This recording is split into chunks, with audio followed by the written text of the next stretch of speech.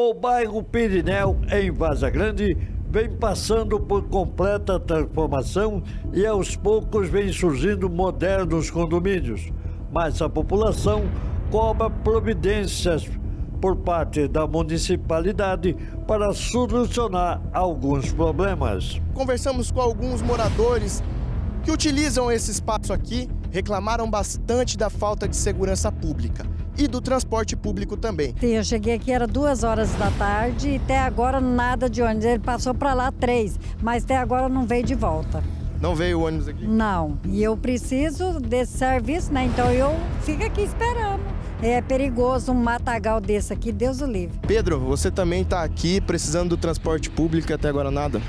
Até agora nada, demora demais um ônibus, ônibus precário, sem ar-condicionado. E tá, fica difícil para nós, né? Aqui, moradores moram aqui já faz um ano. E o que acontece é isso aí, todos os dias aqui para nós pegar um ônibus. E, e no feriado, o senhor pegou ônibus também? Feriados, só, eu só vou só de, de Uber só. Porque o ônibus aqui demora demais, não tem horário.